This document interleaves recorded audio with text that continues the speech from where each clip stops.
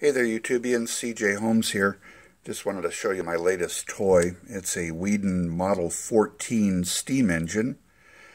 And uh, picked it up on eBay. Uh, it was fairly inexpensive, the reason being that it was missing a lot of stuff. Uh, it was missing the safety valve. It was missing the handle for the whistle. It was missing the connecting rod it was missing the crosshead, and it didn't have the dummy governor or the drive wheel. It was missing the governor mounting thing. So I went ahead and fabricated another safety valve. I'll show you that. This uh, Weeden Model 14 was their most popular model, and it was, I don't know when this one was made, but uh, anywhere from the 1920s to 1940s or thereabout. So anyway, here's the uh, safety valve I made. Really nothing more than, I can take it apart here, a uh, little brass uh, threaded ball. Had that in my little parts pile.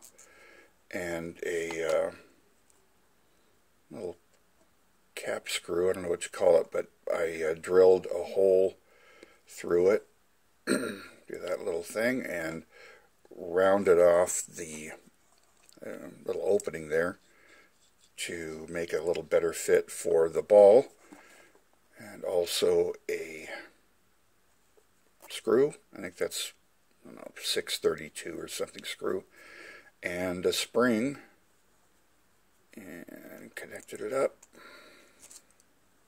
this way so if you need a safety valve, there's, uh, there's how you can make one. Cool. Alright, might be a bit stiff for uh, my needs, but anyway.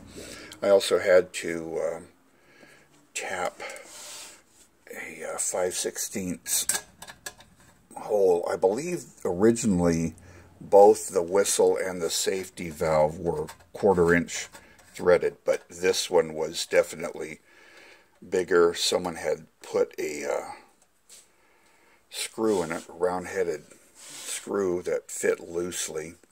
so anyway, went ahead and tapped it and filled it up.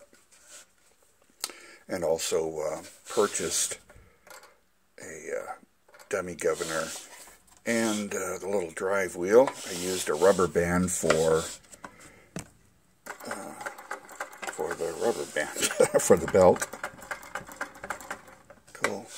Now let's see, what else was wrong with it? Uh, the throttle screw was seized up. I made a uh, replacement throttle screw. The slide valve, turn it around this way, the slide valve was seized.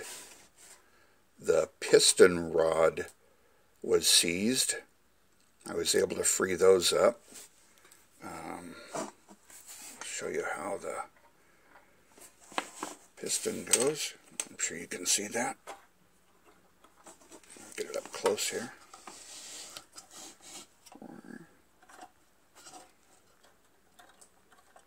Can you see the piston moving in there? Yeah.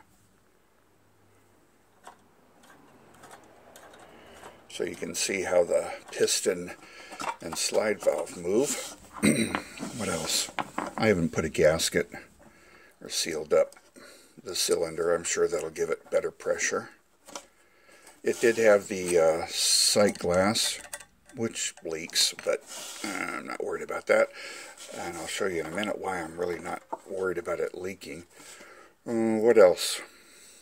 Let's see. Oh, um, when I went to drill, not drill, but uh, um, solder the uh, steam pipe to the steam dome, I promptly melted the steam dome. uh, that's great. So it ended up with a hole and deformed. So I took out some trusty JB Weld and sealed it up with that. I also made the mounting thing out of JB Weld and uh, fabricated a bolt. and uh, glued it onto the JB Weld, and uh, it works great. so, one of the good things about this particular uh, eBay find is that it came with a couple of burners. I made this little mounting board, by the way. Came with a couple of burners, which I don't think are original to this Weeden, but um, they work. Uh, but I'm not going to demonstrate this under steam. I'm going to use compressed air. That's why I'm not really worried about steam leaking everywhere, because uh, we're going to test this one right now with uh, compressed air.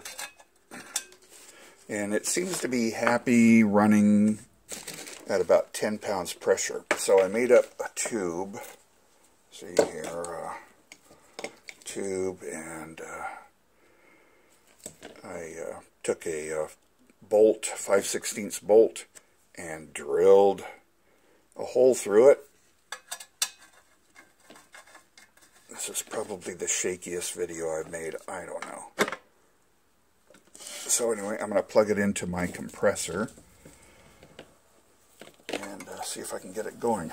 Of course, I've got it completely in a knot. There we go. Oh.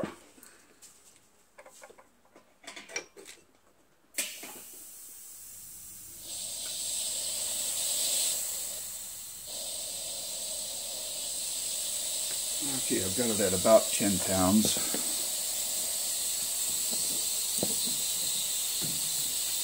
I'm not sure if the whistle is original to this model Weeden or to a Weeden in general. However, works great. Now let's see if we can get the steam engine to work. There it goes.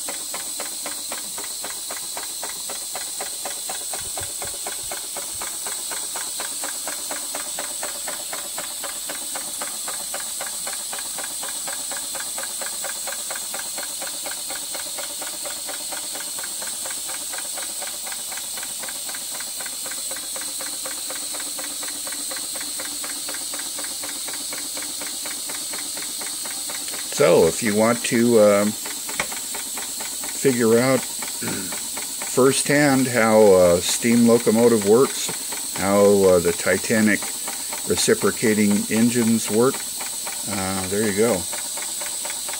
Here's the basic principle of a steam engine. Fire source, either uh, alcohol lamp to heat up the boiler, or compressed air to fill up the boiler. Cylinder and slide valve. A little flywheel to keep things going. There's, there's a basic steam engine. One problem I have with it, I can't get it to go in reverse. These things are supposed to go in reverse, but it just likes to go in one direction. I really don't care. The fact that it goes in any direction is uh, a major accomplishment for me.